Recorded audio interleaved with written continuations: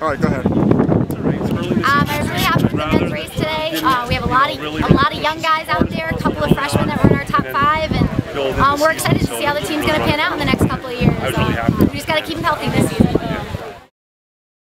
Hi, I'm Brendan Copley here today, and I'm very happy with how my team did today. We got fourth overall, and we were second in the conference, and um, the team is moving really well. We're improving overall.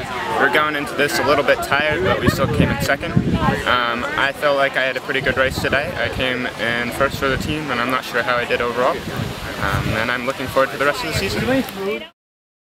Uh, women certainly uh, had a great race today. Um, we had a couple top finishers, and um, our freshmen are looking fabulous. We have seven new freshmen on the team this year, and we're excited uh, to see where they're going to kind of play in the, and fit into the rest of the team.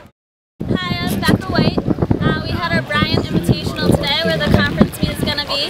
Um, the team ran really well. I think we're really excited to um, preview the course and hopefully get ready for the conference meet. Yeah. First of the year. Um, I was pretty happy with it. Room to improve, so I'm excited to get ready for conferences.